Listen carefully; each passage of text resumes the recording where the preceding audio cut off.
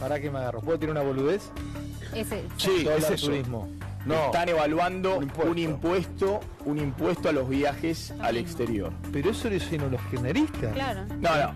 No, no, no, no, no, no, sí. A ver. ¿Cómo Lo que no? mataron a Kicillof con eso. ¿Cómo que no? Lo que había- eso. ¿De verdad? No, no, Sí, lo que había no, era una retención del 35% había de la la compra de cara, dólares. no la Y bueno. Ahora te estoy, Era te- para te restringir estoy el- diciendo que están evaluando No un mismo. impuesto directamente a los pasajes al Uh, exterior